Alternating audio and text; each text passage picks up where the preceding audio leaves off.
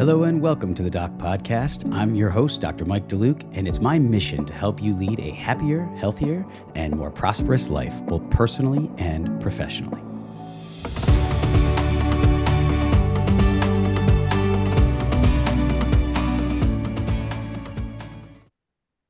Hello, everyone, and welcome to this episode of the Doc Podcast we received such a great response to the two part series we recorded a couple months ago with Dr. Stacy Ochoa and myself that we decided to uh, sit down and chat some more and, and get back together to discuss this very important issue of airway orthodontics, especially as it pertains to the treatment of pediatric patients.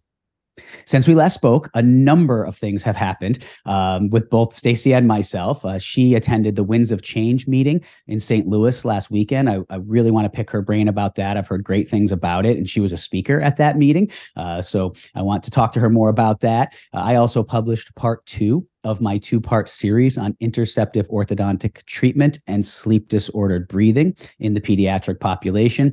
Uh, that was out in November in Orthotown. It created a bit of a stir on social media, uh, and uh, it was something that was well received, but there was some questions as well that came up that I would love to, to talk a little bit more about as we start to dig deeper into why our profession seems to be somewhat resistant still to embrace this philosophy of how we can help these young patients with sleep disordered breathing.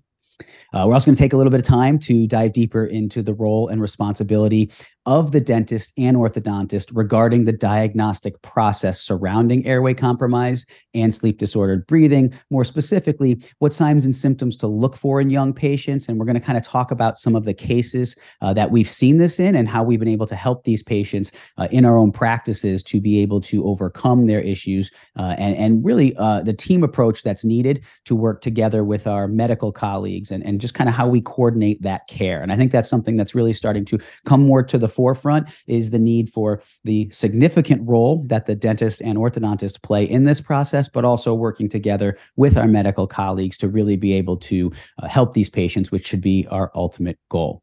So, with that, I would like to welcome Dr. Stacy Ochoa back to the podcast. Welcome back, Stacy.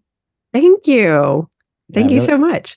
You're welcome. Thanks for coming back. I'm so excited to do this. I should mention this is going to be a joint podcast again with our two podcasts, both publishing and producing this. So that uh, both of our audiences, we do have some overlap, but there's some that uh, are unique to each of our audiences, so they'll get the benefit the benefit of this. Um, so tell me a little bit about start out. Just tell me a little bit about the winds of change. I've heard great things about it. I heard you did an awesome job with with your with your lecture and presentation. So I, I'd love to hear more about it. Okay. So, I, I, mean, I'm just I'm just very proud of my colleagues that put this together. So, mm-hmm. uh, the Winds of Change um, was put together by doctors Maz Moshiri, who's an orthodontist, and Reza Movahed, who mm-hmm. is an oral surgeon that has an emphasis on airway health. Okay. Um, and you know, the Midwest, people call us like the flyover state. So, you know, we're kind of the last for everything to start happening. It mm-hmm. seems like the coasts start mm-hmm. things and and then we're kind of the last. And so um, Maz and Reza had reached out to me and said, look, we're putting something together in St. Louis. Mm-hmm. Um, we're going to talk about the importance of basically, you know, they had heard my message before of dentist triaging, basically, and um, identifying maybe at risk patients that might need orthodontic interventions, okay. um, airway health. Uh, maybe they are CPAP intolerant, they're adults and they might need MMA surgery to open mm-hmm. their airways. So send yep. them to the oral surgeon. So I was ecstatic. So I, I just, I'm just so proud that that's happening.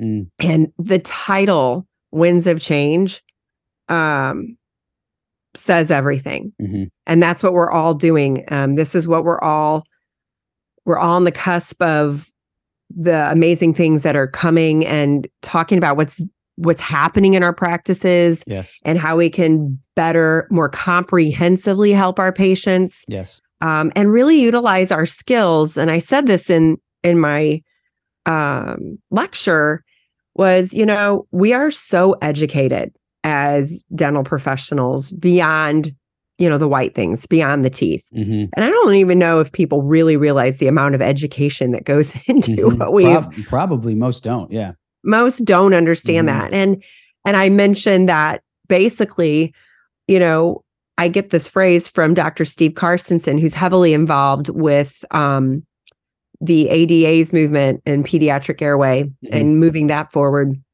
But calling instead of general dentist, you know, we're really more of the primary care dentist. Mm-hmm. And then deciding with our patients, you know, who do we need to refer to? Um, mm-hmm. How do we intervene? And who do we bring into the team? So just like a primary care physician does the same thing, we we are doing the same thing with um, oral medicine. Yes.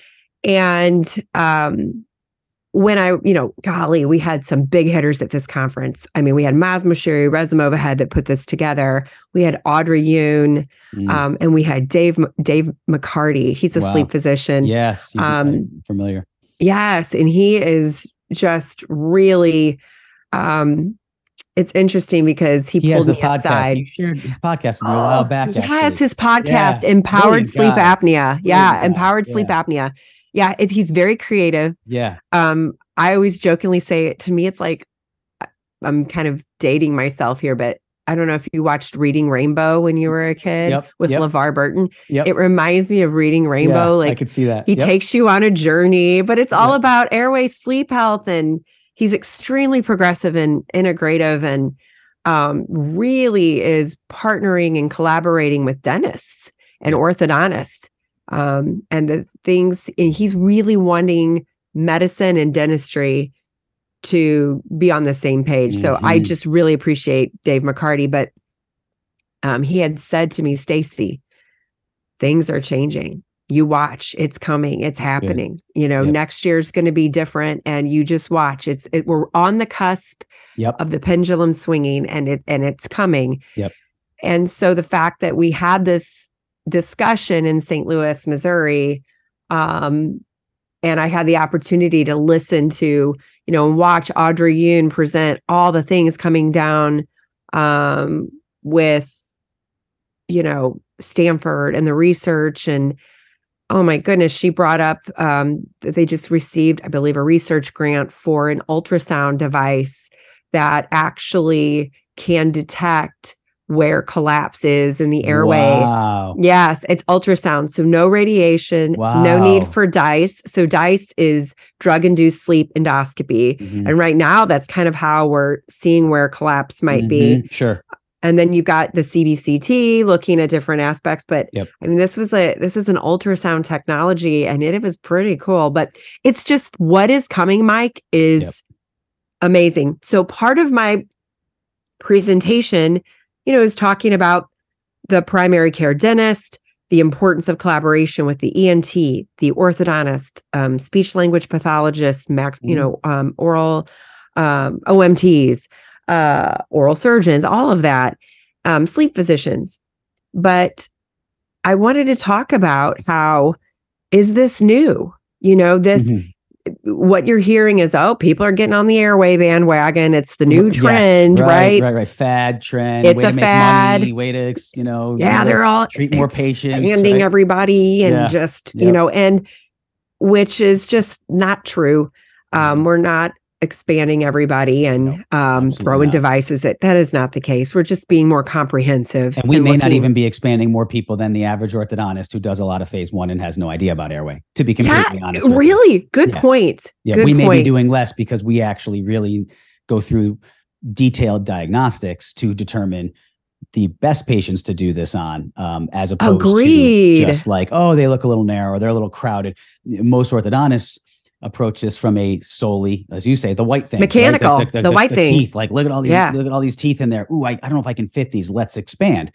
Without, I mean, I've had heated debates with colleagues who are pro phase one, who are pro interceptive treatment. In fact, in the community I practice in upstate New York, one of the practices that was most critical of my approach it was a group practice they were kind of pioneers in the upper lower expansion concept in the early 90s well before that was in vogue you know i mean that was really outside the lines to be doing that. Yet when they heard i was doing it with braces and wires and taking cone beams and looking at airway you know patients would come in for second opinions and you know people talk in a small town Yes. especially and they'd be oh they're you know saying this what you're doing doesn't work and it's i'm thinking you know 30 years ago i gave them a lot of credit for like pushing the envelope and saying we're not just going to extract four bis on every case but maybe we can help these narrow patients grow um it's so it's not just interestingly i found pa- uh, orthodontists who are in this sort of dogmatic mentality of no phase one that oppose this. I have orthodontic colleagues who are really in favor of phase one, who, as soon as you mention the A word and go airway, Yeah, the A word. they're like, no, nope, nope. You, you that's that's outside of our of our of our realm. So to the point of, you know, a couple things I want I want to touch on. Um, one is what you said about is this new? Is this a fad? Right. We've talked before in our previous podcasts about some of the things going back. Um, you said that you when we talked a little bit before this about uh, the Bogue reference. So I don't know if you want to Yeah. start with that, and then I'll yeah, just something I showed. You know, I, I always like to, you know, kind of tease the audience a little bit, and I Mhm. put up Bogue's reference of looking at the E's. Now, this is literally this article is primary dentition. Yep. I mean, it's all about primary dentition, Yep. and he shows the discrepancy between primary teeth with spacing.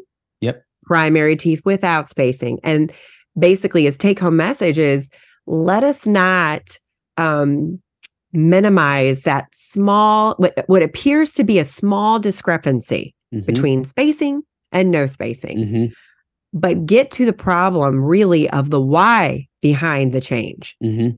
which is really an etiology based and the fact that it will not correct itself Right. and so let's not wait till they're older um and then just deal with braces Yep. and then my last slide is this was a paper from 1918 and you can hear the audience just go oh my god you know Mm-hmm. Yep. like everybody's like what you know Over it's not new it's not Yep. new and so i feel like we're not doing what is new is we have the technology that basically supports what our colleagues that we're standing on their shoulders Mhm. It just supports what they were saying they just didn't have the technology and um we're we're just coming out with the research and technology that's like oh well then this is why and look at these Mhm. adenoids and look at you know um but yeah 1918 Yeah, and and to that point, um, I want to read something from uh, 1928 from an article that Holtzman Hmm. put out. Uh, it's a take about a minute here to read, but I think it's really important and profound to your point. Um, there's a big thing that we face in this, and I'll come back to my some of the responses I received to my part two of my article, uh, which was called "Expanding Your Reality," the article in OrthoTown that talked about slow expansion versus rapid expansion versus doing it with braces and wires as I do it, and all of the the, the biology of that, um, the chronology of that, timing it based on patient age and so forth. But can we get that article outside of orthotown yeah, I can put a link. We I can give you a link for. thank you i'd Yeah, love link to right it. put that Yeah. in this yeah Yeah, I'll give you both part one and part two. Part one Thank goes you. into uh, just kind of the, the the the first part of what we've been talking about, which is the need to diagnose and find the etiology. So part one goes into detail on that. Has a lot of references of whether this is typically a tooth size problem or a jaw size problem, uh, and then part two goes into a way to approach treating that with a couple of cases, showing how I treated it from start to finish with radiographs, uh, slices of cone beams, and and everything on on two different case cases I treated um, and really gives a, a brief overview. Obviously, it was limited in that type of forum on what I could provide. Um, but um, so Holtzman said some of the more common causes of irregularities in the temporary teeth are enlarged tonsils, hypertrophied adenoids. Remember, this is 1928, thumb and finger sucking, and faulty habits of tongue, lip, or cheek. Enlarged tonsils and adenoids prevent the normal action of breathing with the re- result that the child's vitality is lowered and general development of the body is retarded. Any deficiency in vigor or growth is reflected in the positions of the teeth. The normal action of the tongue and cheeks, you're going to love this part, is in a great measure responsible for the shape of the arch, right? As you've called it, nature's expander, nature's expander. which I love. And I, I, I've stolen from you. I'm sorry. I credit No, you with it, but I, i'm sure i got it from somebody else too so whoever i got that from i don't remember but um, when the mouth is closed, the tongue lies in the floor of the mouth and the force of the atmospheric pressure sucks the dorsum of the tongue against the hard palate. This flattens the roof of the mouth. As the teeth erupt, the pressure of the sides of the tongue pushes them outward until the force is equaled by the inward pressure of the lips and cheeks. If these forces are normal, the teeth will form perfect arches. When these forces are abnormal, the arches are either pressed into abnormal form or they are prevented from developing as they should. In such cases, the teeth are irregular, not from their own activity, but as a result of the forces acting on them. In conclusion, when one can diagnose an arrest or lack of development in the temporary arches, treatment should be instituted to stimulate growth of the maxilla or mandible to obtain space to accommodate the larger permanent teeth. It seems, therefore, that it is good practice to correct malocclusions of the deciduous teeth at any age, at any age, when it may be done easily and painlessly, when by doing, when by so doing, you enhance the possibility of the permanent teeth erupting in normal positions. 1928. Oh so my gosh. Anybody who sits there and says that what we're doing, they label it as like orthotropics, or I don't, what do you call like? I remember with my article, people were like calling it like orthotropics or different things or i'm like i don't even know what you're talking what are you labeling it as? What i'm doing is helping my patient in line with science and biology. Like i don't care what you call it I'm, I'm not into the name calling thing but and and to that point you don't have to do it if you don't want to do it but which uh very great podcast um that you uh, just had on with Courtney Levine uh, that I listened to, which was oh, which was great, um, and um, they really talked a lot about that side of it. And I thought you guys did an awesome job explaining like this isn't something every orthodontist has to want to do or do, but my gosh, stop trying to basically gaslight and say that this isn't a thing and has never been a thing and it's kind of a new thing that this little cult group is doing to just generate revenue for their practice. It's false.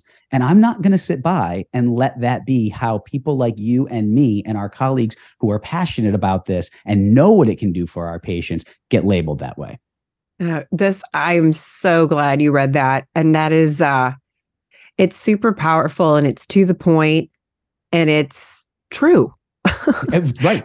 Right. It's fact. It's fact. Right. So and this isn't like our opinion. We, like in a why do you think in a hundred years we knew this a hundred years ago, a few less than that, but you know, 95 years ago, yeah, we knew this. Why have how has it that fallen the, by the wayside and the opposite approach, which is don't do this young, prevailed? You know, that's a really good question because, you know, it it's when I so I just did a workup on a four year old. Okay. Um, last week, and I'm I'm doing basically an Invisalign workup on him. Yep. and um, I the mom is completely on board, and I and I find that you know I just plant seeds. I talk to the parents and she used to be a um, a CPAP. Uh, she's mm. working the CPAP community. Wow! So she understands airway, and yep. she is like sees exactly what's happening in her son and knows yep. what his trajectory is. Yep. So she's like, and we'll do basically you know, anything to. Uh, we'll do anything to avoid that going down that path. Yeah. Yes. So am I saying that? Uh, oh, my you know expansion and uprighting um, of his arches is is curing anything.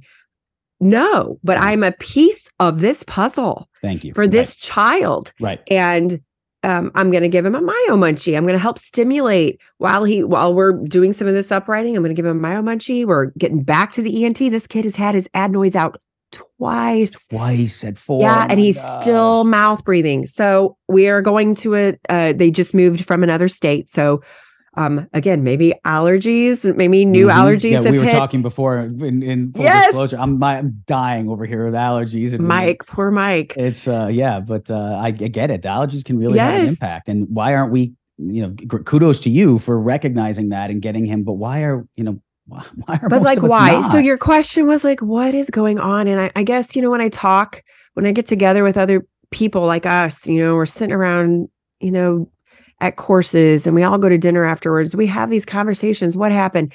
And it's like sometimes, you know, is it an agenda of um, organizations? Is it political? Is it is it money? Is it is it it it's faster to do it this kind of um, you know, um, kind of what am I trying to say? Like assembly line, you know, it's like the model doesn't, doesn't, doesn't fit the model. It doesn't fit the model. doesn't fit like the model. How did we come up yeah. with that model? You know, and it's like, I think one thing happens and then another thing happens yes. and it's a slippery slope. Yes. And then we get into this paradigm that we're in right now and this mindset and this model.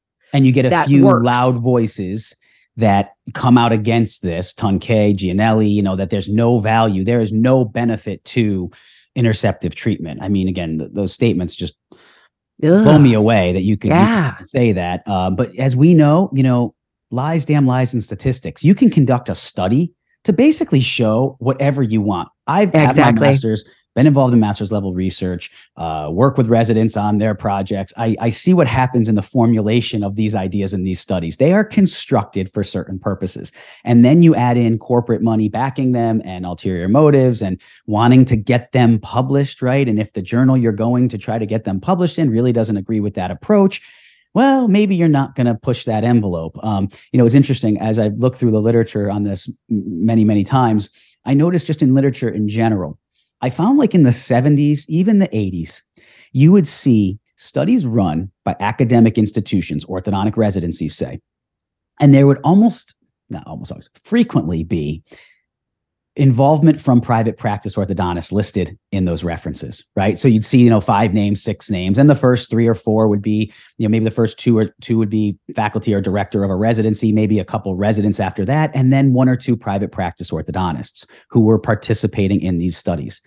I rarely see that now period. Actually, mm-hmm. I don't see a lot of American orthodontic residencies putting out a lot of good research into the AJO DO really at all anyway. There's very little. Uh, most of it's coming from abroad. Um, so, what are our residency programs doing that they are not bridging that gap between private practice and academia? And I think that's a big part of it because both need to be there. We need both, both have profoundly important roles. But academia has kind of set this precedent that if it's not born out of research in academia that we say at this current time is valid, then it doesn't, it shouldn't exist clinically. And clinicians, private practice, wet finger orthodontists, or, or primary care providers who are doing the interceptive treatment, look at it and say, You're an ivory tower academician. You don't know what it's like to practice out there in the real world. You've never been in an office, seen 100 patients a day, and understood what it really takes to do this efficiently and tried new things. You're still doing it the old way. So let's just break that down. What is the old way? Well, the old way clearly is is not what we think it is, which is four by extractions, and, and that's what gets labeled as kind of the old way, right? Old school, like they're just going to pull teeth. No, that's not really old school. We knew hundred years ago that that really wasn't what we were supposed to be doing in every right. case, right? Not never, but rarely, because as right. they have said multiple times. I have another reference I'll read from 1949 in a minute. But we've known for a while that that's not like like it, so that's not a new thing like that that um that we should be helping grow arches and develop arches. What's happened is academia i feel because i'm yes. very involved in it doesn't get the opportunity to get these patients at four five and six years old in an orthodontic residency. In fact many orthodontic residents don't even treat a phase one while they're there. Many of them don't learn how to analyze cone beam. Many of them learn nothing about airway so academia has fallen down this path where they are myopic and they have blinders on and they won't look outside of their tunnel vision. Okay. Then you get private clinicians who are all in the, the, the, a lot of us are in that outside lane, right? And and we're looking inward, going, they don't get it. So basically, and this saddens me greatly as someone who's been through a lot of years of school and, and is very involved and has been at teaching at every level of post grad uh, orthodontics and dentistry. It saddens me that there is this divide. And almost what residencies have become is this sort of get through it to get your degree, and then you'll learn Yeah. how to do it on the outside. You're, I mean, nowadays, orthodontic residencies, like uh, they're paying 50, 60 grand up to 100 grand a year, paying, not getting paid. They're not getting the GME money that a lot of other residents get out there. A large number of orthodontic residents are paying anywhere from, say, 30 to $100,000 a year for this education. They're going into tremendously deeper debt for this Mhm. just so they can learn things that they have to unlearn or relearn when they get out to do it in the quote unquote real world. So I really think we need to call for academia and private practice to start to get together. Now, last thing I'll say about that, and I want to hear your thoughts on it. Sorry to rambling on. No, think no, this is great. It, it brought up something in my mind too. Go ahead. Okay. Um, so the last thing I'll mention with that is I think maybe say, well, why did that happen? Why did there be oh, there used to be all this research that was happening between private practice and academia? I don't know when the IRB really came about. I, I should have looked that up, but but the review boards and committees that review these studies. So as I've w- tried to work with residents over the years on certain studies to analyze some of my data and try to provide data to substantiate what I've been doing clinically, it's really hard to figure out how to merge my private practice, HIPAA, and and I mean HIPAA was what 90s, early Yeah, mid-90s? 90s. So if you look at the literature, I bet this is just kind of my own hypothesis. I bet from the time HIPAA came out, you're going to see a steady decline in the integration of academia and private practice from from an educational research standpoint. And I think that's really, really, really hurting the Mm. profession because it's making us not work together on these projects? Because just to get my patient database or my patient records into an institution make sure they're safeguarded make sure they're encrypted um, make sure then who can access them it logistically it's not super easy to do. No. and so what happens? Clinics clinicians and private practice docs do what they do. Academicians do what they do. They spat and go back and forth on one another over who's right and who's wrong and who suffers the kids that don't get the treatment they deserve Yeah, a hundred percent. There is, gosh, I'm gonna have to find this. Um, my partner in ASAP, um, Tracy, Tracy Wen, she Mm-hmm. posted this link on Facebook, and it's this man talking about evidence based and how he's just watching really intelligent people go into academia and then come out less intelligent than they came in because Yeah. they're throwing out their brains. Yeah. They're throwing, and he said, really, where change comes from is not academia, it comes from the fringe. yes So he said, for instance, the light bulb never came from all the candle makers.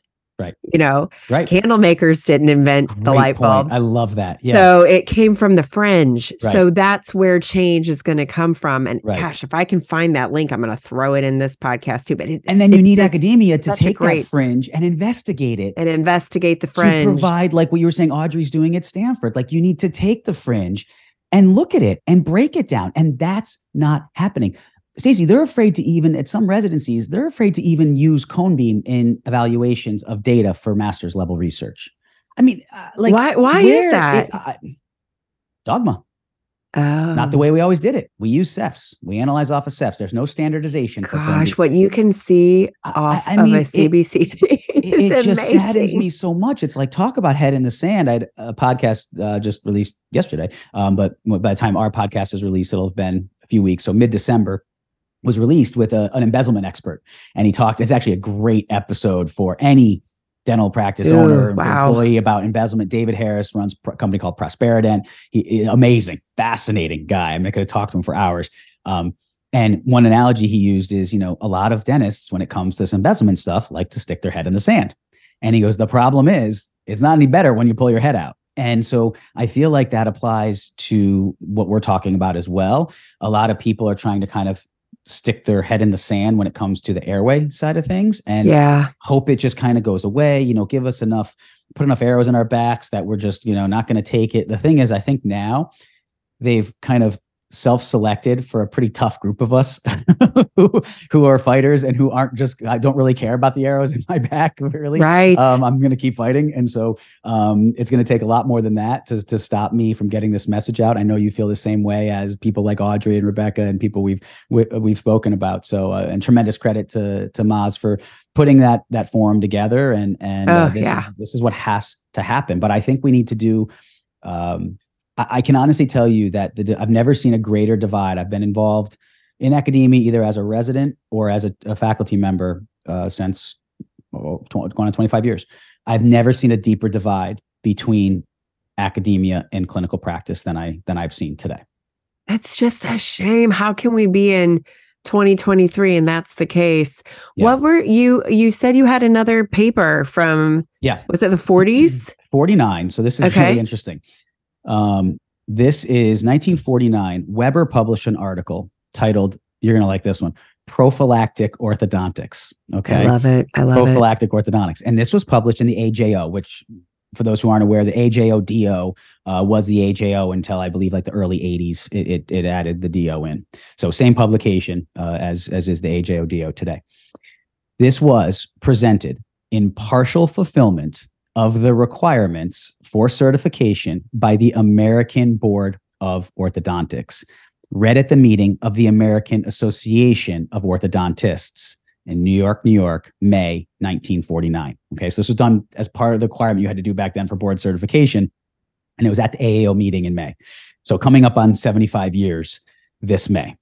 Hmm. Um, the it talked about the fact that uh, colleagues often shun those who believe it's possible to prevent the development of a severe malocclusion by intercepting when the patient is young. So it acknowledged in this position paper that that there is this sort of stigma against orthodontists who are out there in 49 who are out there saying that you should be trying to treat patients when they're young and really? all, that's, all that's old is new again right here um, we are uh, and uh, it, it said that we should carefully consider the probable results of extracting primary or permanent teeth before we recommend the removal. It's what you and I have been saying, right? Diagnose. What's the etiology? They've known this for a long time. We've known this. Our profession has known this for a long time. And went on to say, Weber went on to say that extraction of a primary canine to relieve crowding in the permanent incisor region is, wait for it, rarely indicated, said, and I quote, the complication that arises out of this procedure is one born of the short sighted policy of extracting two teeth to make room for the eruption of one. Said we should instead be focused on breaking oral habits at the earliest time possible, mm. including digit sucking and tongue thrusting. So they were starting to understand, even back then, the role. I mean, we read from Holtzman in 28. He had about the atmospheric pressure in the tongue. We're just finding studies coming out now showing that maybe the reason adenoid hypertrophy returns in patients who have had an adenoidectomy with or without tonsillectomy, uh, and we have these recurrent adenoids growing, maybe has something to do with the atmospheric pressure and the fact that they're not getting that pressure to push that air through the nasal passageway into the nasopharynx, and that is preventing, that is allowing the adenoids allowing. to regrow. So they were talking about this 100, 100 years ago, and then the AAO, which will be the 75th anniversary of this of this presentation coming up this May, who now seems to be I don't want to say running away from because I give them tremendous credit for right. they are having next year. The winter conference is going to be on this more topic of pedos and orthos together talking about interceptive treatment. I, I, give them tremendous credit for that. I really, really do. I know it's hard when you're.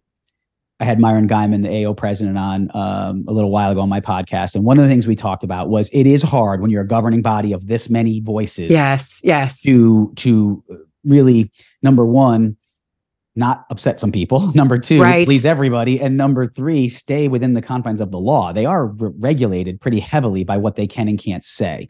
So I I get that, and I get that change is slow. Uh, I think what's happened is is there are some loud voices within that arena, yes, who have really stolen the microphone. And I don't think I think casting stones at the AAO to me is kind of short-sighted because the AAO, I mean, look, they were they were open to talking about this 75 That's right. years ago, right? Like right. So I don't think it's like, oh, the AAO just isn't that. I, I, think it's just leaders change over time and, and people that run committees and run the educational committees and determine who's going to speak at what what um, lectures and, and presentations uh, are going to be the ones that are there. things kind of go through phases. And right now, we're in a phase coming, I feel, and I want you to talk Yeah. more about this, coming out of a phase, because I really do feel like we are getting there, um, but kind of beating that door down. But they were in a phase where it was like, you know, again, the 90s articles by Tunkay and Gianelly and these, these really loud voices within the profession who were just like, no, interceptive treatment, bad, never really a Mhm. place for it. Um, it's just charging the patient twice. And, and, and those articles were put out quite a bit with now we're starting you know those voices have kind of faded down a little bit and you're starting to see these newer voices uh, come up and say no wait a minute there's there's a place for this and and we're going to get at it so i'd love to hear your thoughts on that Well, right, what you just said, I, I have heard that. Well, we might have to charge for two expanders. And yes you know, um, Tracy actually just put uh, Tracy Wynn had a really good video. on those that follow her on, um, okay, they fo- that follow her on Instagram. Uh, there is someone in around her that is beating the I don't care about airway drum or whatever. Yep. And so she gets a lot of the patients from that office. Anyway, um, and you don't have to say was the name uh, please but is it ortho or or ortho. ortho okay right. Yeah, and uh, she has a video of basically kind of like um, an not an anatomage. It's it's not an anatomage. She names the uh, software that she uses, but it's Mhm. basically a, a rendering of her CBCT. It has the face and all Mhm. of it on there, and it shows this very retrognathic child, and they just want to wait because they don't want it to be too expensive. I mean, just different things like that. That the parents are like, "Please help my kid." So this kid's on CPAP. It's horrible. He needs class two correction. Um, he needs expansion. He Mhm. needs possibly, you know, here's the thing. He's on CPAP. So like what Tracy's point was, you know, I'm going to use protraction mask with this child, not to necessarily protract, but to keep the midface from being damaged further from Yeah. the CPAP. yep So the child is going to stay on CPAP because he needs it to breathe Yep. while she's expanding, while she's advancing the Mm, mandible interesting sure yeah and so then she's using the protraction to keep because the those that aren't familiar with nasal CPAP, it looks like headgear. Mhm. So it's a mask on the nose and a strap that goes behind the head. So it's preventing growth of the maxilla. Yeah, it's tight it's got to have that It's pressure. tight. It has to have the seal. positive pressure. Right. Yeah. So she's using, and she's done this to get kids off CPAP. So they stay on either their autopap or CPAP while she's expanding, bringing the jaw Mhm. forward. And then we can watch those pressures decrease as the Mm, mandibles brought forward, as there's transverse expansion, and hopefully get the child off CPAP or a minimal pressure. mhm. But she's minimizing the deformity that could happen from the Sure. nasal CPAP. And even if she maintains where the patient's at, it's still po- Exactly. it's Because it would have positive. Mhm. exactly. It's neutral, at least Yep. airway neutral and not Yep. airway negative.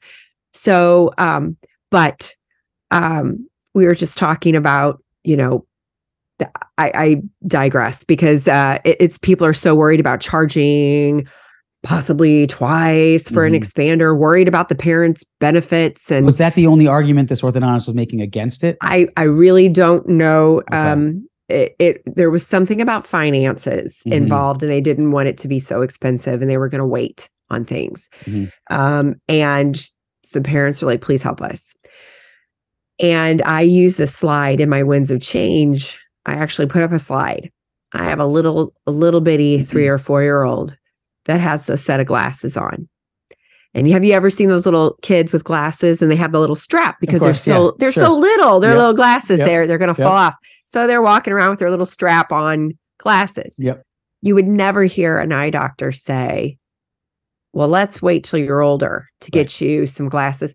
Then I have another picture of a child with a hearing aid in, and he's about three or four. And you would never, you know, Mhm. So true. medicine doesn't do wallet biopsies on patients right? they they don't do wallet biopsies they look at a child in need and ha- that have sensory deficits and issues and they say this child can't see Yep. this child could have this child can't hear Right. you know and and even you know and, just and we're just gonna just kind of wait on this. watch yeah. wait Yeah, till they yeah. wait till they're done growing so they need less hearing aids i mean or Right, that's such a less point. glasses? Right, you don't want to have to pay for three sets of four sets Gosh, of why would we want you to have three sets of glasses? Let's Right. wait till you're like your head's done. Maybe like Right. let's get you a set when you're seven or eight. And where did that start in orthodontics? That like charging if you're doing something. I get it if you're doing nothing, and but I- Exactly. I would actually contend that a lot of people who are just like putting pulling primary teeth and putting space maintainers in or doing all this sort of stuff um, they're almost overcharging in a sense you could say. I'm not pointing to any one particular modality but to say that that's okay but then say that doing it maybe a little younger with a different modality is overcharging it's like wait a minute. So you're doing something the way you're doing it and that's that's fine. You know you can do it your way and charge for space maintainers whatever the case might be younger if that's your approach. But if i go in and charge for my approach i'm overcharging and it and it's like, look, we are doing something. We're not charging for nothing. exactly exactly We're charging for a procedure. Yep. And this procedure happens to be on a child that's younger and they might have it again. And you know, something too, you know, we don't know if this parent's going to go get new and a new job with new benefits and new I don't have a crystal ball. All I know is there's a child in need in front of me. Yep. And supervised neglect is just not what I'm going to do. right I'm not going to sit and watch a child suffer. And we have too much research out with the ages of between four and six, knowing with the Karen Bonuck study, the David Gozal study. I mean, the Karen Bonuck study was 11,000 children, Mhm. yep no PSGs. This was mouth breathing and snoring. And then the behavioral deficits, the behavioral changes. They watched 11,000 children between six months and 69 months old, and then looked at them at four and seven years old Mhm. and the behavioral issues they had. And it was like unprecedented. Like it's an Mm. amazing research paper that is a wake up call to our profession of, you know, thank God for the primary care general dentists. Because if the orthos do not want to see these kids at four, five, six, Mhm. Thank God there are. So please don't, you know, get angry or throw arrows at a general dentist that is, you know, and you know, I don't But don't you think, sorry, Professor, but don't you think that might be why they're throwing the arrows? Because they don't want to do it. And they, it, it, it, part of it comes out of ignorance, and it's that you know, head in the sand, right? I just want to stay the way I do it. It works. I have my systems. My staff is trained a certain way. Because as I've said before, when I switched to doing this with braces and wires young versus doing expanders, and even when you do expanders versus extracting a lot of teeth young, it requires a totally different level of training and systematization and scheduling and inventorying. It's it's a it's a change. And when you're a busy orthodontic practice, been doing it one way for a long time, and you're not directly seeing that you're harming the health long term of your patients, you can easily put your head in the sand and remain ignorant and be like, I can't do anything about their breathing or their sleeping. You know, I'm the orthodontist. I treat the teeth. So it's easy to remain ignorant, number one. And number two, they're fearful that someone else is Yeah. going to do it. And if you you try, if you step back and think like the orthodontist would think, right? A lot as an orthodontist, we think we need to get that patient in our practice, right? So that they want to come to us when they're ready for treatment. Well, try to think for a second what happens if and when the primary care dentist, be it a GP or pediatric dentist, starts treating that kid at three or four for some stuff. And we're not set up to do that. We don't really know how to do that. We definitely didn't learn it in our residencies. Now that's a threat to our entire profession. Now that's a threat to our patient base. We already have primary care dentists who are doing Invisalign and treating patients, some of the adult patients that we treat, right? Now we have it on the other end where they're taking our pediatric patients and they're not sending them to us. And we start to say, I need to throw arrows to knock these this whole thing down. Because if I don't, I'm in 10 years, orthodontics will be obsolete. Instead of looking at it and saying, why don't I start to think about what I don't know? Why don't I start to think about, let me talk to these people. Let me see some of the cases they've treated, right? Yes. when yeah. I show when I the, the online forums and the, the orthodontic study groups that some people were throwing some arrows um, about my my uh, cases I showed in that OrthoTown article. You know what I find? What I said, I didn't get in a back and forth sort of tit for tat because I was like, it just doesn't. It devolves on social media, especially. it does. You know, those conversations need to be had face to face. It doesn't work to do it on social media. So what I decided to say was instead of trying to go point for point on things, I said, you know what? I said it to both of them. I said, I want you to tell me, you can label what I did however you want. You can mock it. You can say whatever you want. I want you to show me one, because they said I was cherry picking cases. And I did explain, like, you know, this is an article in, an, in a journal. I can't, like, two cases is as I had to push it to just get two cases in. and I thank uh, Chad Foster and Sam Middleset at Orthotown for allowing me to put two in because uh, I know for them that that adds a lot more more publication space. But um, what I try to explain is I could show you hundreds of these, right? I, and I could. And so I made an offer, set up a Zoom call with me. We'll sit down together. I'll take as long as you want, and I'll go through case by case by case by case of times I've done this exact same thing I showed in the article. And number two, you just show one case that started in a similar situation, comparable to one of the patients I showed in that article, that you treated to a superior outcome. Because in that article, I didn't just show the phase one, I actually showed one didn't even need phase two and one needed phase two. And it was like 12 months, very straightforward. I said, right. so show me a patient that started where those patients started at seven, that you did, you used your approach and got a superior result six, seven years later. One, one. If you're gonna, if you're going to make these claims, put your money where your mouth is. Show me you're doing it better than me. Neither of them took me up on my offer. And I offered for like one crickets. time. I, I literally, I said, I said, I'll tell you what, I'll do one better. We'll record the Zoom call and I'll publish it on this forum. I'll it. publish it. All you've got to do is bring me one case. And they just kept again kind of throwing arrows, trying to yeah. And, and, again, no one. I put that challenge out to anybody. Take some of these cases that we show, and show that they did it better. And if you didn't, I'm not saying you need to do it the way I do it. Honestly, I am not. What I'm saying is, what ground are you standing on to mock the way that you or I do it? Right? Like it's so interesting that it, it, it's funny. I love how you said, you know, we just all need to be open to how how we could be wrong and and at, when I was talking to David McIntosh, Dr. David McIntosh, he is an ENT out of Australia. Mm-hmm. He said, I don't want to be right. I want to do it right. Yeah, I love that. And he said, I I want I go into situations asking, how could I be wrong? Mm-hmm. How could I be wrong? And if we all did that approach, how mm-hmm. could I be wrong? Mm-hmm.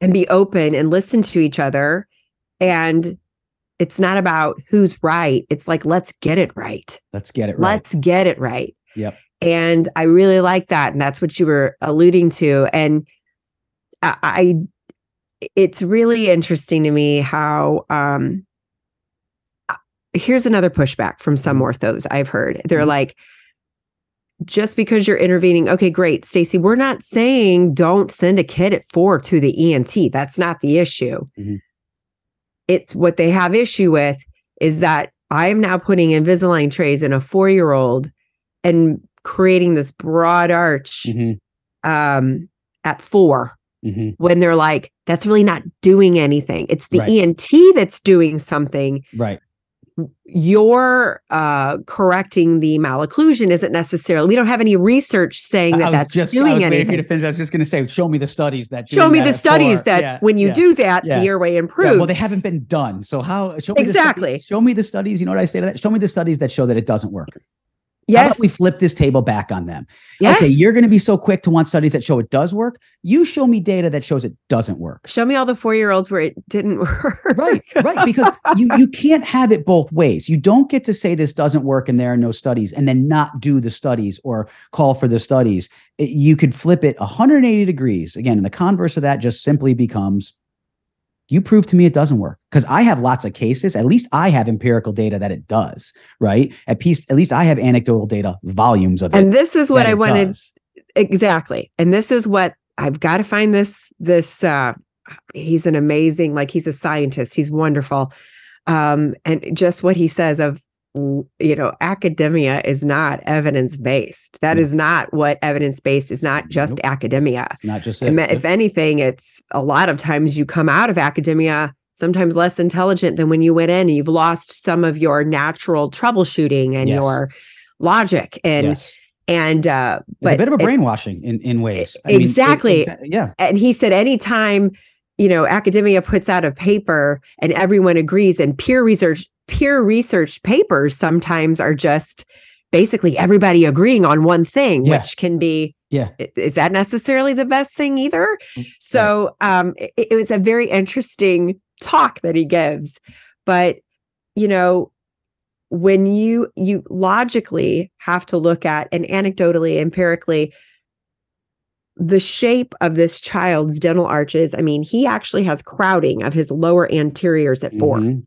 Which we've known for 100 years is, is Which we know what- is- what- not what should happen. right? Even just straight, no Right. spacing is a malocclusion. So he's beyond that. right. So I am trying to this where I what I want to do is get the child back on track where he should be for his age. Right. That's right. what I'm trying to do. Right. And you're not expanding to solve his airway problem. You're No. expanding because he has narrow arches. I'm expanding because he had an airway problem. It caused a malocclusion. he has you. no room for his tongue. I'm trying to make room for his adult teeth, make room for the tongue, make that palate look more like the tongue print it should. It looks Got like it. a V. Yep. And I tr- I'm trying to get the child back on track to where he should be for his age. He's behind craniofacially. And how does someone criticize that? I mean, truthfully, if it's your kid, like that's what I say to people too. If this is your kid, and we can finish up in a couple moments here with maybe a story or two about some of the kids' lives we, we- Yeah. we, were able to change. But if this is your kid, right? What would you really t- say? Don't do anything. I don't think there's Yeah. studies that say when they say, you know, I could give them some Invisalign or some braces that would, you know, really, it's only going to help. It's not going to hurt. I'm I'm making room for the tongue. a the better tongue. posture for the tongue. We might need to include some myofunctional therapy because we've had nasal disuse for so long. Yes. We- We've got muscle atrophy in places we shouldn't and hypertrophy in places we shouldn't. So so well said. So we we got to get this kiddo. It's it's like physical therapy for the craniofacial structures. Right. Uh, and uh, what Kevin Boyd, uh, Dr. Kevin Boyd, pediatric dentist in Chicago, craniofacial um, respiratory complex is what he calls it. Okay. The CFRC, Mhm. craniofacial respiratory complex. Okay. And this is what we're trying to help. Yep. So, um, and like you said, if it's your kid, would you just sit by and just uh, glasses, hearing aids, growth and development of the face, of the airway, the airway above the palate, the airway behind the soft palate. Right. And it's my, my friend and colleague, Dr. Susan Maples, who I'm going to have her on next year. um, on a podcast. She has her own podcast called The Brave Parent. Boy, we're just plugging everybody. um, but we need to plug each other because Uh, there's so to. much to hear. we have But to. she has a podcast called The Brave Parent. And I love, love, love. Oh my gosh, such a dynamic speaker. And she talks about, um, she actually spoke at ASAP um, not too long ago. And the title was My Kid is Pooped. And what does their poop have to do with it? So she Mm. goes into the gut biome and the relationship between sleep health and airway health uh-huh. and the microbiome. But she says there's no such thing as somebody else's child. And I love that. Mhm. The second those kids walk in our door, Yep. they're our responsibility as well. We are an adult in their life and we have to intervene if we see them struggling. and a medical whether- provider at that. An adult and a medical where they're and a provider. where yes, they're trusted healthcare medical provider. dental healthcare provider. And uh, two things on that. One is uh, with the gut. I was listening to a podcast um, earlier this week, and it, it was a gastroenterologist talking about his training. And he is big on the gut microbiome. And as I think anybody out there listening who's health conscious or has started to understand, we can well beyond the scope of, of this episode to talk about why and, and our gut microbiomes are changing so much, but he's big on this. And he said, and, and I was listening, I literally rewound it and listened to it again. Cause I'm like, did he just say what I think he said? He said in his residency training, he took a two hour course, two hours the entire time on nutrition and gut microbiome in his entire GI residency. Unbelievable. I went, Oh my gosh. And this was actually ironically as I was driving over to to teach at, at the residency and I was in the car and I'm like, and I was going to be talking that day about airway and CBCT and all that. And I'm and they don't get any of that outside of from me. And I'm going, oh my gosh, this is a fundamental problem between academia and clinical practice. Practical, It's practical, edu- yes. Right. It's not actually like ortho dental. This is a problem in Period. all of medicine right now is the research is not keeping up with how quickly we're learning uh, in real life practice and again the, the need for the path of, of both of those and then the other thing uh, that triggered was uh, my last my, my last thing i'm going to read today um, is the a the ada so when we talk about practitioners who you'd mentioned tracy had someone who was critical of the way she was approaching it right and they all they kind of accuse us uh it's thinly veiled but uh, like almost malpractice right? It's almost like you are doing things you shouldn't do because charging for a service that you shouldn't provide is malpractice. Um you know again they're not coming out and saying it although i guess some are. But they're basically their point is is that you're doing things you shouldn't be doing to these patients right? The ada their position statement in 2017 Yes. uh, titled The Role of Dentistry in the Treatment of Sleep Related Breathing Disorders, or SRBDs, which encompasses adults and children. So I'm just going to highlight a couple points um, that deal more with, with the pediatric population. Um, but before that, they define sleep related breathing disorders, which again, I, am big on getting into the sleep disordered breathing over the OSA. I think when we go Yes. OSA, we call in. we're, we're, it's too this- small of a, of a niche. Yeah, Yeah. yeah. It's and I'm big when I lecture. I talk a lot about the difference in those, but um, they're disorders characterized by disruptions in normal breathing patterns. SRBDs are potentially serious medical conditions caused by anatomical airway collapse and altered respiratory control mechanisms. Common SRBDs include snoring, upper airway resistance syndrome, and obstructive sleep apnea. So again, OSA is just one part of these this, Yes. this bigger scope of breathing disorders. And then it will goes on to say the dentist's role. This is the ADA is saying the dentist's role in the treatment of SRBD includes the following. Dentists are encouraged to screen patients for SRDB as part of a comprehensive medical and dental history to recognize the symptoms such as daytime sleepiness, choking, snoring, or witness apneas. These patients should be referred as needed to the appropriate physicians for proper diagnosis. So, right there, any dentist or orthodontist who isn't looking at their pediatric patients for these issues is technically out of line with the recommended guidelines. with the guidelines. Secondly, with the guidelines. in children, screening through history and clinical examination, history and clinical examination, something orthodontists tend to rush through um, that initial initial evaluation, may identify signs and symptoms of deficient growth and development or other risk factors that may lead to airway issues. If risk for SRBD is determined, intervention through medical dental referral or evidence-based treatment, which certainly expansion is well within evidence-based treatment, Yes. may be appropriate to help treat the SRBD and or develop an optimal physiologic airway and breathing pattern. That's our ADA. That's our ADA in 2017. So I actually said that at the Winds of Change. I brought those guidelines no up. way. I did. Oh, I brought too up the guidelines. Oh, that's Um, crazy. you and I just are vibing on this thing because I wanted them to understand this isn't my opinion. Right. These are the guidelines from the American Dental Association. I also showed that the American Academy of Sleep Medicine discusses the role of dentist. Now, granted, it's for adult OSA, but we're talking about we're still talking about an anatomical issue.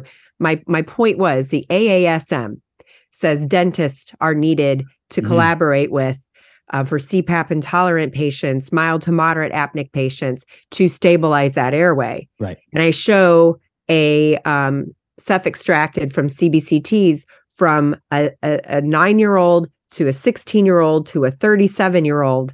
And they all have the same small dysfunctional, you know, Yep. what are you going to do? Right. Right.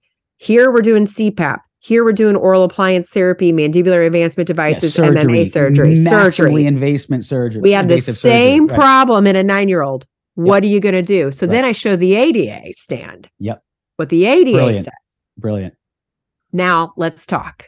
Yep. So, I mean, this isn't.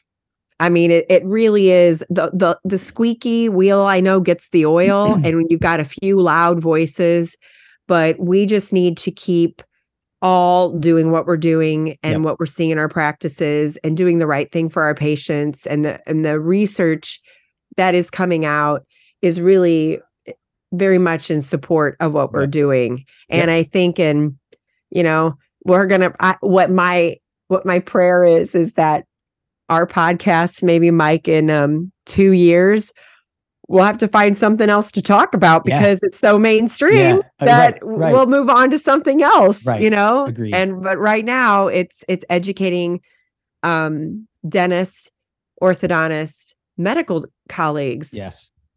And I hope people take this podcast, share it to your patients.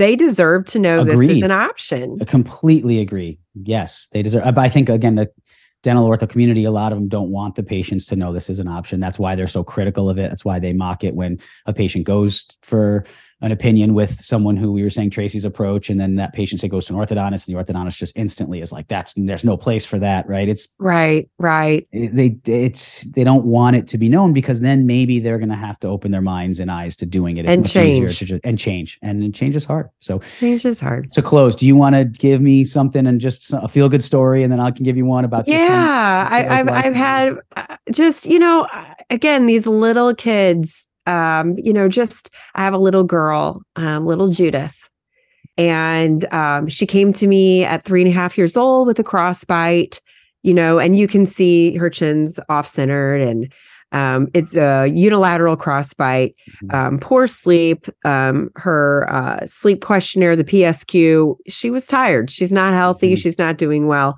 Um, we we had sent her to an ENT, and they said, you know, we're not going to do anything with the adenoids and tonsils at this time. Um, keep an eye on some otitis media, but they're like, Stacy, you do you, you know. So um, I went ahead and corrected the malocclusion. I started right when she was four, so probably eight months in, we got her out of this crossbite. So now we, instead of her growing in this mm-hmm. unilateral, uneven TMJ health, you know, I made room for her tongue. Mm-hmm. Um, we talked about proper swallow, and I mean, her PSQ, all her her uh, mom's like she's doing so much better. Mm-hmm. I, I, mean, we just see this every day, mm-hmm. all the time, and it's like, mom's stoked. Yeah. I mean, and these kids, they move so easy when they're oh, little. They're like, we, you know, I think Mariana Evans coined the phrase, they're so juicy. yeah, really. they're just, juicy. It's just and, so easy they're so easy and and it's like you know it's just i just want to get them back on track. She had yeah. a hiccup with her growth and development. Let's let's jump in. So yeah she's doing so much better and um we see a lot of these little judiths. I got another little kiddo. Like i said he's four years old.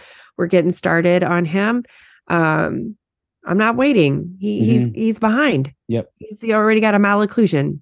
Yep. so uh i love to hear some of yours um, one that I, I tell sometimes when I lecture and on my website i have some testimonials um, that if you go to the website uh, the ortho coach there's um, a testimonials tab and there are literally parents just i literally just took my phone out and i just decided i wish i did it earlier. It's one of those things it's like oh, oh i didn't think of this and, but anyone listening out there who does this do yourself a favor. And when you get a parent starting to rave or break down in tears or all these things that we see happen all the time when you do this, just say, Can I just take, is it okay if I just take my phone out and record this? Because I, I want to help other kids and other parents know about this and and this will this will help speak to them. So I started doing that later than I wish I had. But I would just be like, when a parent would raving, I'd be like, you know, can I just record that? And so I've got a bunch of those on, on my website. But one that um, what is really interesting was it talks about the power of doing this differently. So uh, I had a patient come in and it was Halloween. It was yeah, six, seven years ago.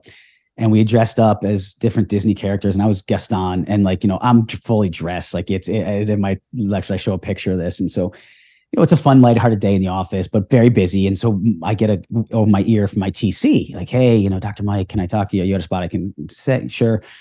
What's up?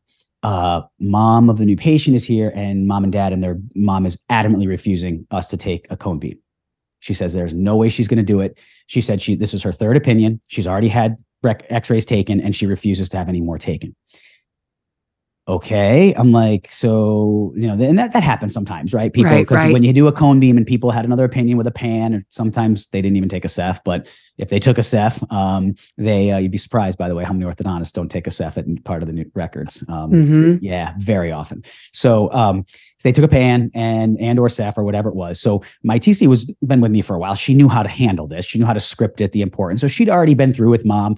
It's a low dose image. It's less radiation than the Panorex. It lets us see things like airway, such and such. Mom was tough, not budging, right? Not budging. So I'm in the middle in the clinic, still doing some stuff here and this in my ear, and and I explained to my TC, you know, this is try this, try that. She comes back on. She's like, nope, mom refuses. She said she knows she needs upper and lower expanders. She's had two opinions on that already. Back to my point that even orthodontists who are into into interested in doing Yes. phase one uh, disagree with the way I was approaching it, and she just wants to know what our price is going to be for the expanders. So I said, okay, put her in the consult room. So I go, I walk in dressed as Gaston. I go in this room, and I mean, mom looks at me like she wants. She, I mean, I, don't know if I've ever had someone look at me with such disgust. like, who are you? like, really? This is who's going to tell me you need to take X-ray on my kid? Dad's just sitting there looking at me. Kid is Molly is the cutest little thing in the world, and she's just sitting there. And I look at her face, Mm, and Stacy, you know the face I saw yeah. right? It was maybe if you want, maybe I can send the pictures for yours. I'll put them up for mine. I'll just put her pictures up so you can see this kid's Okay. initial malocclusion in face in our in the podcast. Dark allergic shiners, kind of like with my allergies right Like now. you but- right now? yeah, like the venous pooling and and just uh, open mouth and, and I Mm. look at her and I'm like, so I said to mom, I said, tell me a little bit about why you don't want, you know, I understand Missy has explained all this stuff about the X-ray and uh, what questions do you have? Well, I don't see what the point of this is. This is ridiculous. You just want to do this so you can charge us more and so forth. And I said, okay, let me just explain a little bit. Let me ask you some questions. And I said, does Molly snore? And dad goes, yeah. Molly breathe through her mouth like she has her mouth open right now. Is that how she usually is? Yeah. She restless sleeper. So I started going through the questions. All of a sudden, you start to see them going. And I'm like, I do things differently here. I said, I understand you've been told that she just needs expanders. I said, and I'm not saying she doesn't. I said, all I'm saying is I want to know why. And that 3D image of, for very low radiation is going to help me understand why. And, and if I need to send her to one of my medical colleagues, if there's something obstructing her breathing, I can't tell that from the 2D images that you have brought here um, from, from the other office. It was just a pan anyway. It was just, and I can't tell that. I said, so I- have to tell you, if if you won't let me take that image, I cannot treat her. I said because I am big on treating the cause of things, and if I don't want to just treat the symptom of her crowded teeth. So I said, I'll let you think about it. You guys talk about it. We'll step out. I'll have my TC come back in a couple in a minute or two and, and see what you want to do. So I leave. And my over my earpiece, Missy comes on and goes, um, they're taking the x-ray. So I said, okay, good. Stacy, this girl couldn't breathe. She had complete obstruction of of the nasopharynx with the, I mean, 90% with the adenoids, huge tonsils. And I mean, and so I went back in the room and I showed them the 3D on the airway tour I take all the patients on and I showed them. And I said, the first thing we're going to do is send her to the ENT and it's going to change her quality of life instantly. I said, Instantly. and then I'm going to go in and I'm not actually going to use expanders. I said, that's fine. I said, expanders would work. I said, but I have a way that I feel works better. And that's just going to be braces and wires. I said, and in fact, one really nice part about that is if you can't get in with the ENT for a while, because the ENT I worked with was way booked up. He was so good. And, um, and I said, we can still start the braces because ENTs don't love operating with a mouthful of expanders. That's but a mouthful of braces really doesn't make a difference to them. So we can start our part. And then whenever she gets the ENT, you know, gets in for surgery, she can get in and do her their thing. And we're going to have a, a different Molly on our hands when we're done with this. That family ended up referring like their whole neighborhood. I treated their all their kids. And Wow. and, I mean, it, that's not the point that I did it to like Right. get them to refer everybody. But the point is, is I stood out as somebody who did more for their daughter than just look at their daughter's teeth and become just a price. And I love that story because I got to watch this girl grow and and develop and just change and transform. Um, and there's nothing like that, you know. And and I, You're right. There's oh, nothing like gosh. it. And that, no. all, that that ties it all in. It's the additional diagnostics. It's it's understanding the etiology. It's working with our medical colleagues, right? I if I it, just my expansion, it wouldn't have been stable because the girl couldn't breathe, so she would have collapsed everything back. If Yeah, it it's just even worked at all. band aids. Yeah, Yeah, and the relapse, Band-Aids. it would have Relapse, relapsed. sure. Yep. Yep. Yeah. So you know that's it's it's fun. It's fun when you can do It this for your fun. patients. It's fun to to do. It's so rewarding. I had a little girl yesterday that um, I told dad we're probably going to be going in. Um, she was a hygiene check. Mhm. And uh, so all my general dentists, primary care dentists are going to understand. You know, we see these kiddos every six months and we watch them grow. And I planted seeds. I remember mom and dad were a little bit, again, they look at you like you're crazy Mhm. and um I got them to the ENT. So I got the little one, so she's 3. I got her to the ENT. They did tonsils and adenoids. Big sister, I got them to take her too. They just did adenoids on sister. But dad was telling me yesterday um how much better her sleep is and Mhm. how much more calm she is Mhm. and focused and and and this literally happened yesterday changed and I was life. actually changed her life. And as I, so I guess she is hearing dad talk. So Okay. she's like three and a half, four years old. Yeah. And I have my hands down by her face because I always do a head neck exam. I always feel for lymph nodes and stuff like that. So I'm just feeling around while dad's talking very casually, you know, finishing my exam. And I'm telling him, you know, you know, we might need to go in and start some expansion on her because she's behind. She's Yep. got some growth deficiencies because of that airway obstruction that we Right. need we need to catch her up. So as I'm feeling around on her neck, I feel her grab my hand and she pulls my arm down and like kind of wraps it around her neck. And she was mumbling something. And I s- swoop down. I'm like, what are you saying? And she goes, my doctor, my doctor. And she Oh was my just hugging me. And I oh, feel Stacy, Oh, it was so sweet. I I Oh. I'm like, oh my gosh, I wanted to just soak her yeah, up and gobble her up. yeah, yeah. gobble her up. And then she kept Yeah. pulling me closer and closer. and Oh her, her my dad goes. Okay, honey, okay. Yeah. I think Dr. Ochoa needs to get to her next patient. But I couldn't help but wonder, did she have some form of gratitude for what I Oh, had without a done? doubt. They know they intu- intuitively they know you helped her. You, she knows that you made a Yeah. difference in her. That you I mean, it was amazing. quantify it or know why, but she just knows that she didn't feel good before, and she and feels she good feels now. good now. And she was like, you. my doctor, my doctor. Yeah. And she kept holding me. And I was Nothing like, like it. grateful. And I think she's hearing her dad and she's hearing conversation. And you know what I think she felt? She felt I cared for her. Yeah, And Yeah. she heard the conversation because people listen more when you talk about them completely. That's been shown. Yeah, completely. yeah so I'm Yeah. talking about I think it's Jordan her. Peterson who talks about that too. Like, Yes. if you want to praise your kids, it's one nice talk way to do it. them. Talk to your spouse about your child. About them. they're not sitting maybe right there, or even if they are, but sometimes when they're like, you know, they can hear what Yes. you're saying. Yeah. Yep. So I think she was she was feeling that we were caring and loving on Yep. her in that moment. So Oh, this was so great wonderful. conversation. So this great. was wonderful. So great. So love talking with you and, and having these sessions. And I think it's uh, it's stuff that you and I'd be talking about anyway. And I just that's one great part about the technology is now we can just show people like, hey, there's people who think like you know people out there who think like us. Just show them like, hey, look, that you're not alone. You're not alone. You're not alone. Those experiences you're having, the one I just described, uh, and the one you just described, the ones you just described, others are having those, and they don't feel there's any any voice for them. And you know what? Let's be that voice, and let's be the ones who get up there and say, you know, no, no, no, you're you're doing it right. You're doing it right. Don't listen to the people who are saying you're not. You just keep doing what you're doing, and and the tides are gonna are gonna turn on this. yes. And a rising tide raises all ships. You got it. Yep. So friend, let's keep talking. Same. Yes. Um, looking forward to our next conversation someday and what we have to talk about. Things are Agreed. Keep- changing fast. The They winds are. are a changing. Yeah, they are. Yes. Yes. For sure. And keep up the great work. Thanks, Mike. Awesome. Take care, Stacy. You too. Thanks. Thank you for watching this episode of the Doc Podcast. Be sure to visit theorthocoach.com to get access to ADA CERP recognized CE courses or to schedule a private one on one coaching session with me. And remember to join the Doc community on Facebook for more great content designed to help you succeed both personally and professionally. Just go to Facebook, search for the Doc community, and request admission into the group. You can also find Doc on Instagram at, at the Ortho Coach. And always remember, you have been blessed with the ability to do amazing things.